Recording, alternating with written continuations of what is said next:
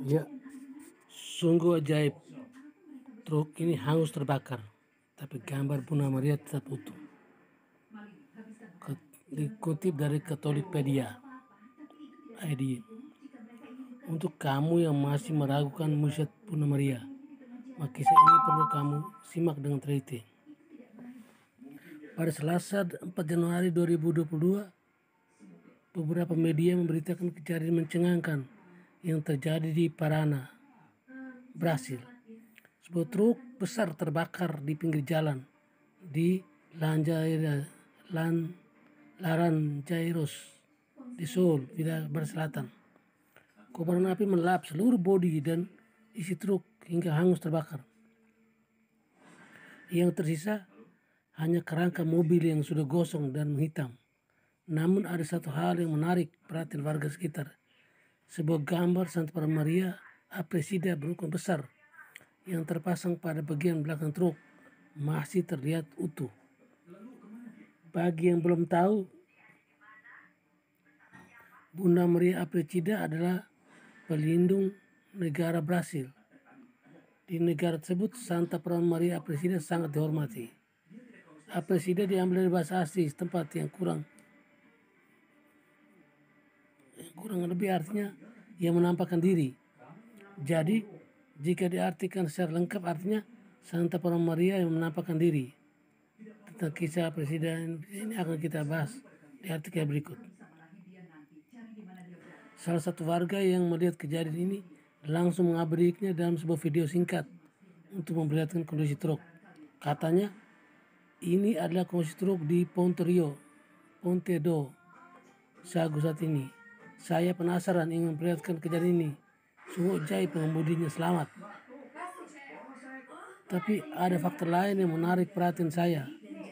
Ini untuk mereka yang tidak percaya akan mujizat Maria. Lihatlah ini. Isi truk semua hancur. Bahkan sudah sekitar 20 jam asap masih mengepul dari bawah truk. Dan memang benar dalam video yang diunggah di Facebook oleh akun Amigos Darogen. Gambar Bunda Maria yang terpasang di pintu belakang truk sama sekali tidak sentuh kobaran api dan nyaris dalam kondisi sempurna. Di sisi samping gambar tersebut tertulis sebuah doa, selimuti aku dengan mantra sucimu. Amin. Si pemilik akun juga mendambakan caption pada postingannya. Truk terbakar, tapi gambar Bunda Maria presiden tetap utuh. Melansir dari media lokal, Koreo Brasil, pemicu gam kobaran kebakaran ini adalah berasal dari bagian dashboard mobil yang memanas. Mewakili tim pemadam kebakaran militer, Kopral Carlos de Souza membenarkan kejadian supernatural ini. Menurutnya, ini adalah fakta yang sulit dijelaskan dan sukar untuk dijangkau dengan kemampuan akal manusia. Ia juga menambahkan bahwa hal seperti ini sudah sering mereka alami saat menjalankan aktivitas sebagai petugas pemadam kebakaran. Bagasi dan bodi truk semuanya terbuat dari bahan yang sama, dari bahan aluminium tipis. Bahan yang mudah meleleh saat terkena panas. Kami sering melihat hal yang seperti ini, tapi kami tidak bisa berkomentar karena banyak orang yang tidak percaya.